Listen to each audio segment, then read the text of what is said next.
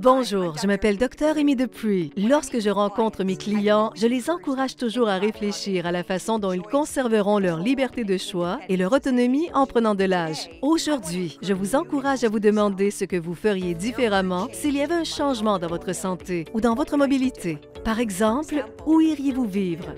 Comment prendriez-vous soin de vous? Et si vous ne pouviez plus conduire, comment vous déplaceriez-vous?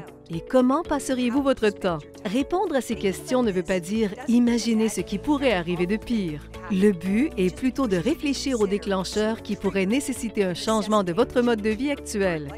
Le fait de ne plus vouloir ou de ne plus pouvoir conduire est un déclencheur commun. Il peut aussi s'agir du décès d'un conjoint ou d'un problème de santé. Un aîné très sympathique que je connaissais avait de plus en plus de problèmes de santé. Et c'est ce qui les a poussés, lui et sa femme, à déménager dans une résidence. Il m'a dit qu'au lieu d'avoir le sentiment de perdre le contrôle, ils avaient l'impression d'avoir retrouvé leur autonomie et qu'ils passaient plus de temps avec d'anciens et de nouveaux amis. Quels que soient les éléments déclencheurs, les ignorer met votre autonomie en péril vous risquez de finir par devoir accepter des décisions prises par d'autres personnes.